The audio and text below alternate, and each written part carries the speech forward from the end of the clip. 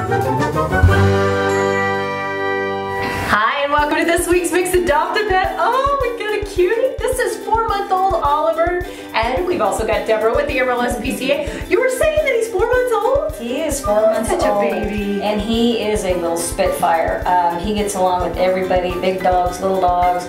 I was just telling Lori, he had we had a pit bull in the office here, Uh-huh. and he was running circles on around him, on top of him, over him, whatever.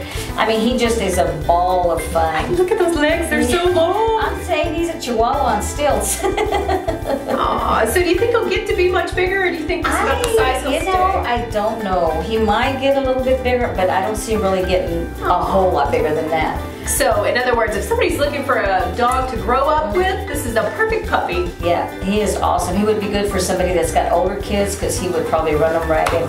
nice. And if somebody's interested in this precious little guy, how do they go about Um, adopting they can come out here to the facility at 11901 South Col- Coulter or call us at 806-622-0555. You're shaking like a chihuahua, you know that? well, if you are place where you need a new pet and you'd like to make Oliver's yours, he's gonna, he's gonna, he likes to get a kiss out of that one. And then uh, contact the Amarillo SPCA today. All the info is on the way.